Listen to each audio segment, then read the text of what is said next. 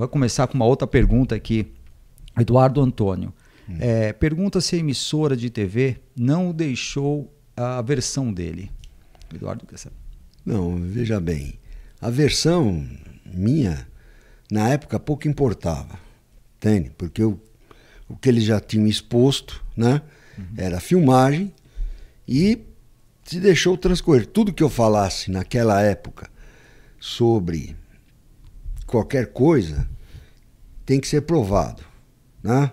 E as imagens, a, como foi conduzido a coisa, infelizmente não tinha como a gente estar tá nos autos do processo, né? Toda a realidade e crua do patrulhamento, de ordens de serviço, tudo tinha para ser feito e combater o crime na favela naval, que era um, um foco de na, na venda de entorpecente, né? Uhum. no comércio de entorpecente. E nós estávamos lá para combater isso.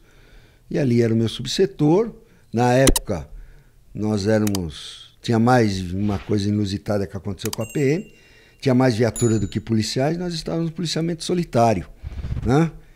E com o aumento das, das ocorrências na favela naval, foi pedido, foi feito uma ordem de serviço para que o patrulhamento se for, fixasse, fixasse mais ali, naquela, naquela, naquela região. E foi feito. Como eu era policiamento solitário, eu fui pedindo apoio. Levantei horário, como que fazia, qual horário de maior fluxo da, no ponto de entorpecente lá, né? Na boca a gente começou incisivamente para lá, lá. E todas as viaturas iam para lá, naquele horário, específico horário. Era entre as 22h30 às 0 hora e 30 minutos. E foi isso. E está tudo isso nos autos, mas né, isso não vende. O que vende é o sensacionalismo, infelizmente. Né? E deu aí no que deu. Deu essa repercussão monstro, né? onde os meios de comunicação ganharam muito dinheiro né? E eu ganhei